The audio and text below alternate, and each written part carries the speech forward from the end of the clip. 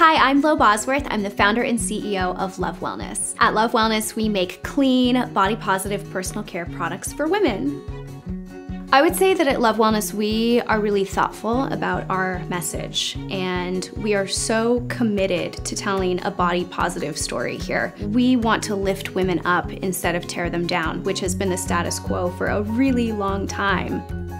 I think that I have an experience that a lot of women share. It was a couple years ago, I wasn't well. I kept having these sort of low grade chronic health issues and to be subjected to the kind of advertising and messaging these companies have been sending our way for our entire lives, you feel a lot of stigma and shame when you need products like this. I just couldn't find what I was looking for. It wasn't until my doctors at the time put me on a more natural path to healing my body and directed me into sort of a new space that I was able to get better. And I just thought this is information that all women should have. Why aren't the products out there? And it just felt like something that I wanted to share with more people being able to build a brand and sort of lead it to this growth stage has totally changed my life. I have a reason to get up every morning. I get to go to the office, I get to be with my team, we get to continue to spread this really body positive message. When I actually go through the DMs myself,